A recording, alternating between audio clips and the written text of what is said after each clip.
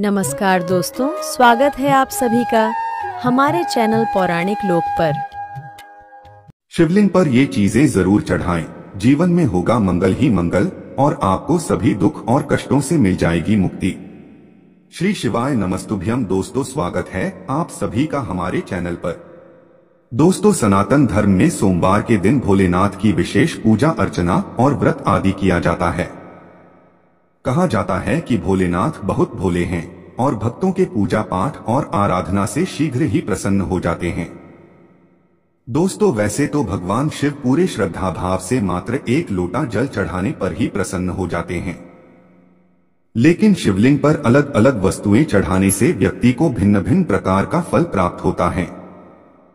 कुछ वस्तुओं को अर्पित करने से आरोग्य प्राप्त होता है तो वहीं कुछ को अर्पित करने से समृद्धि का आशीर्वाद मिलता है। लेकिन दोस्तों शिव जी की पूजा के भी अपने कुछ नियम होते हैं। जिस प्रकार से शिवलिंग पर आप बेलपत्र और धतूरा समेत कुछ चीज़ें चढ़ाना बहुत ही शुभ माना जाता है। वहीं कुछ चीज़ें ऐसी भी हैं, जिनका इस्तेमाल शिव पूजा में करना अशुभ माना जाता है। और यदि आप इन चीज़ों का उपयोग शिवजी की पूजा में करते हैं तो शिवजी आपसे क्रोधित हो सकते हैं। तो चलिए दोस्तों जानते हैं कि किन शिवलिंग पर कौन सी चीज़ों को चढ़ाने से क्या लाभ मिलता है और वो कौन सी चीज़ें हैं जिन्हें शिवलिंग पर भूल से भी नहीं चढ़ाना चाहिए। लेकिन उससे पहले अगर आप भी चाहते हैं कि भगवान भोलेनाथ का आशीर्वाद आप पर सदा बना रहे तो इस वीडियो को एक लाइक करें, चैनल को सब्सक्राइब कर ले और कमेंट बॉक्स में हर हर महादेव ज़रूर लिखें। तो पहली चीज़ है अक्षत। दोस्तों, शिवलिंग पर अक्षत चढ़ाना बहुत शुभ माना जाता है। शिवलिंग पर चावल या अक्षत चढ़ाने से व्यक्ति के जीवन से धन से जुड़ी समस्याएँ दूर होती हैं और आर्थिक स्थिति सुधारने लगती है। साथ ही साथ तंगी, कर्ज आदि परेशानियों से भी धीरे धीरे आपको छुटकारा मिलने लगता है। पर दोस्तों, इस बात का आपको विशेष ध्यान रहे कि चावल के दाने साबुत हो, खंडित ना हो मतलब कि टूटे फूटे हुए ना हो। आप केवल वही अक्षत चढ़ाए जो पूरे हो। अगली चीज़ शिवलिंग पर चढ़ाएँ गेहूँ। दोस्तों, शिव जी को एक मुट्ठी गेहूँ चढ़ाने से व्यक्ति को जीवन में सफलता की प्राप्ति होती है।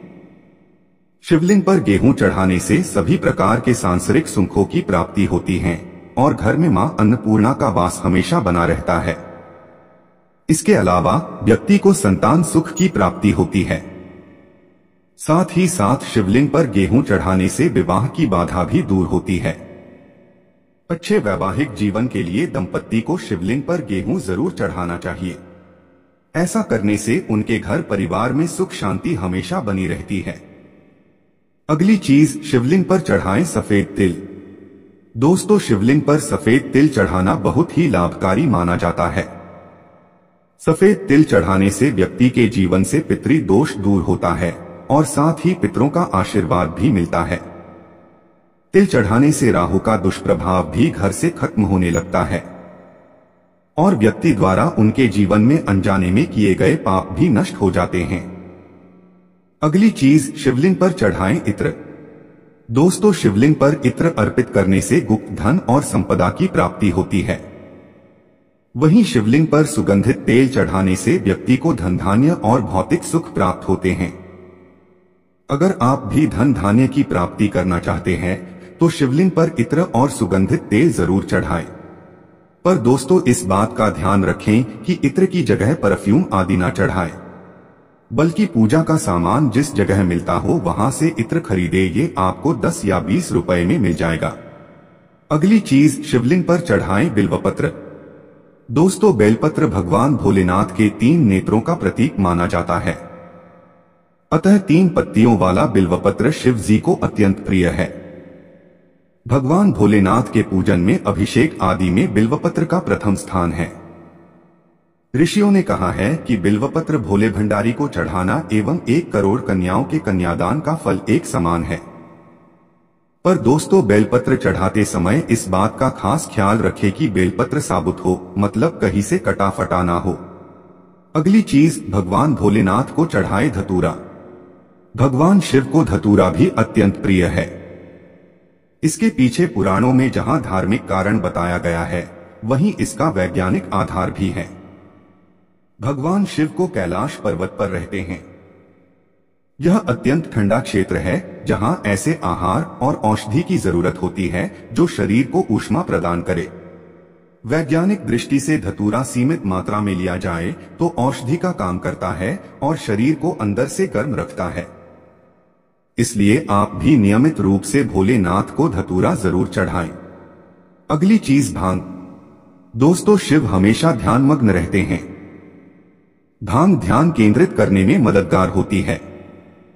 इससे वे हमेशा परमानंद में रहते हैं।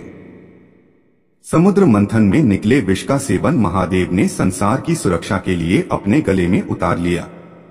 भगवान को औषधि स्वरूप भाँग दी गई, लेकिन प्रभु ने हर कड़वाहट और नकारात्मकता को आत्मसात किया, इसलिए भाँग भी उन्हें प्रिय है।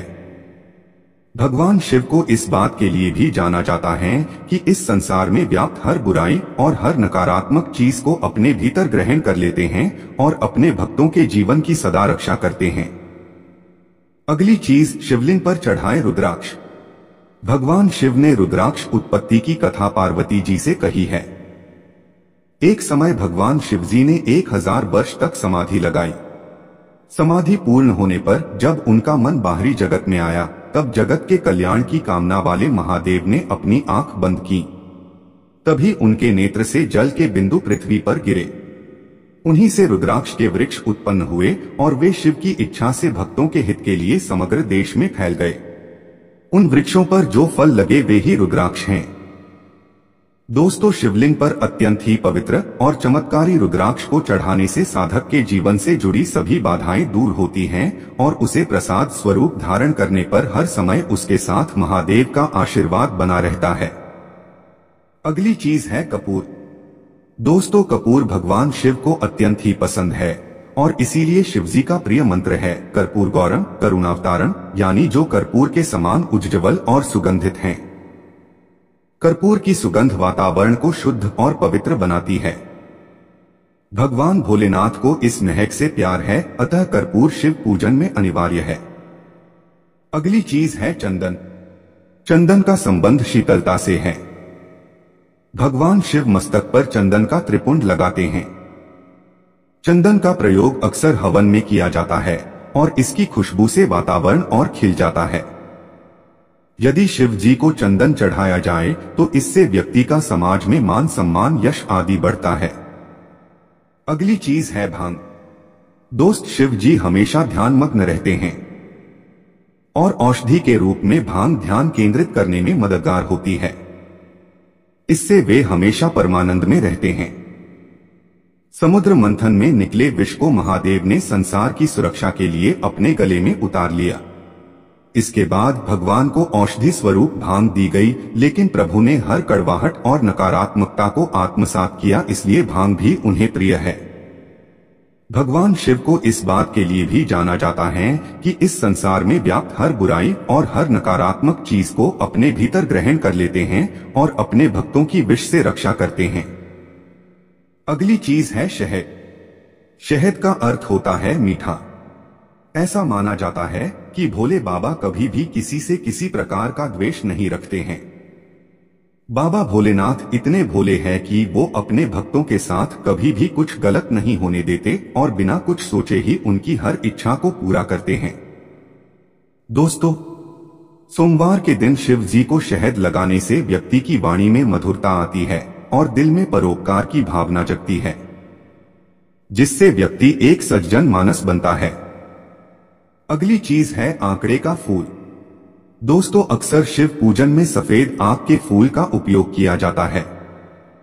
इस फूल को विभिन्न स्थानों में अलग अलग नाम से जाना जाता है, जैसे अर्क, आंकड़ा, मदार और अकौआ इस फूल को शिव जी में चढ़ाने से मोक्ष की प्राप्ति होती है। अगली चीज़ है शमी पत्र शिवलिंग पर शमी के पत्ते चढ़ाने से सभी मनोकामनाएँ पूरी होती है। इसके पुण्य प्रताप से जीवन में चल रही परेशानी कम होती है और काम कारोबार में भी मुनाफा होता है। शमी पत्र भक्तों की सभी आकांक्षाओं को पूरा करता है। अगली चीज़ है गन्ने का रस। दोस्तों, वह व्यक्ति जो कर्ज में डूबा हुआ हो, उसे शिवलिंग पर गन्ने का रस चढ़ाना चाहिए। शिवलिंग पर रस चढ़ाते समय ओम नमः शिवाय मंत्र का जाप भी करते रहना चाहिए। ऐसा करने से भगवान शिव उस भक्त की आर्थिक परेशानियों को दूर करते हैं। खासकर सोमवार के दिन शिवलिंग का गन्ने के रस से अभिषेक करना बहुत उत्तम माना जाता है। इससे भोलेनाथ शीघ्र प्रसन्न होते हैं और सभी मनोकामनाओं की पूर्ति करते हैं। अगली चीज़ है गंगा जल। भगवान शिव की पूजा में गंगा जल का बहुत ज़्यादा महत्व है। दोस्तों, कहा जाता है कि भगवान शिव की जटाओं से निकली गंगा के पावन जल को शिवलिंग पर चढ़ाने से व्यक्ति को अनंत पुण्य की प्राप्ति होती है। मान्यता के अनुसार शिवलिंग पर गंगा जल चढ़ाने से साधक को भोग और मोक्ष दोनों की प्राप्ति होती है। भगवान शिव की पूजा का यह उपाय और भी ज़्यादा शुभ फल देने वाला हो जाता है, जब आप उत्तर वाहिनी गंगा का जल भगवान शिव को अर्पित करते हैं। अगली चीज़ है दूरवा। वैसे तो दूरवा का प्रयोग गणेश पूजन में ज़रूरी माना जाता है, लेकिन शिवलिंग पर भी दूरवा चढ़ाना शुभ माना जाता है। शिवलिंग पर दूरवा चढ़ाने से शिव जी के साथ गणेश जी की भी कृपा मिलती है और सारे कष्ट दूर होते हैं। इसे शिवलिंग पर चढ़ाने से जातक की आयु में वृद्धि होती है। ऐसा माना जाता है कि भगवान शिव को दूरवा चढ़ाने से मंगल ग्रह को प्रसन्न किया जा सकता है और यदि किसी व्यक्ति की कुंडली में मंगल का दुष्प्रभाव है तो दूरवा अर्पित करने से इससे मुक्ति मिल सकती है। यही नहीं, आपके मंगल को मज़बूत करने के लिए भी शिवलिंग पर दूरवा चढ़ाना शुभ होता है। अगली चीज़ है भस्म। दोस्तों, मान्यता है कि जो भी भक्त शिव जी को भस्म चढ़ाता है, वह उससे बहुत जल्दी प्रसन्न होते हैं और उसके सभी दुखों को हर लेते हैं। माना यह भी जाता है कि भस्म चढ़ाने से व्यक्ति संसार की मोह माया से मन मुक्त पा लेता है। लेकिन इस बात का आप विशेष रूप से ध्यान रखें कि शिवलिंग पर भस्म सिर्फ़ पुरुष ही चढ़ा सकते हैं, महिलाओं का शिवलिंग पर भस्म चढ़ाना शुभ नहीं माना जाता है। अब चलिए दोस्तों जानते हैं उन चीज़ों के बारे में जो आपको शिवलिंग पर भूल से भी नहीं चढ़ाना चाहिए। पहली चीज़ तुलसी की पत्तियाँ। दोस्तों तुलसी की पत्तियों को लक्ष्मी स्वरूप माना गया है, इसलिए शिवलिंग पर चढ़ावे के रूप में तुलसी की पत्तियों की मनाही है। अगली चीज़, केवड़ा और चंपा के फूल। भगवान भोलेनाथ को कभी भी केवड़ा और चंपा के फूल अर्पित नहीं करना चाहिए। पौराणिक मान्यता है कि एक श्राप के कारण भगवान शिव को इन फूलों को चढ़ाना वर्जित माना गया है। अगली चीज़, हल्दी और कुमकुम। शिवलिंग पर कभी हल्दी कुमकुम नहीं चढ़ाना चाहिए। इसके पौराणिक मान्यता है कि भगवान शिव वैरागी हैं और वैरागी लोग अपने मस्तक पर हमेशा भस्म लगाते हैं। अगली चीज़ है नारियल का पानी। दोस्तों, नारियल भगवान शिव को तो अर्पित किया जाता है। लेकिन नारियल के पानी से शिवलिंग का अभिषेक करने से भगवान शिव नाराज़ होते हैं और धन की भी हानि होती है। अगली चीज़ है शंख। शंख से अन्य देवी देवताओं का अभिषेक किया जा सकता है। परंतु शिवलिंग पर कभी भी शंख का अभिषेक नहीं करना चाहिए। कहा जाता है कि पूर्व काल में भगवान शंकर ने शंखचूर नामक राक्षस का वध किया था, और उसी राक्ष से उत्पन्न हुआ था शंख जिसके बाद से ही शंख शिवलिंग पर नहीं चढ़ाया जाता है। अगली चीज़ है काला तिल। दोस्तों, शिवलिंग का जलाभिषेक करते हुए उसमें कभी भी तिल का प्रयोग न करें। मान्यता है कि काला तिल भगवान विष्णु के पसीने से उत्पन्न हुआ था, इसलिए इसे शिवलिंग पर भूल से भी अर्पित नहीं करना चाहिए। तो दोस्तों, यह थी आज की वीडियो। आपको हमारी जानकारी कैसी लगी हमें कमेंट करके बताएँ। माता पार्वती और भगवान भोलेनाथ जी आप सभी पर सदैव अपनी कृपा बनाए रखें। वीडियो के अंत तक बने रहने के लिए आपका बहुत बहुत धन्यवाद।